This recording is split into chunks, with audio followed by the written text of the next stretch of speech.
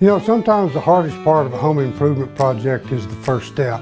Basically, you just have to decide, do you want your overhang to look like this or like this? Do you want the hassle of dealing with a painter every few years or would you like to get it done and be done? Make the smart choice for the only permanent solution. We help you look smart. Jones & Associates, where we say the proof's in the pudding.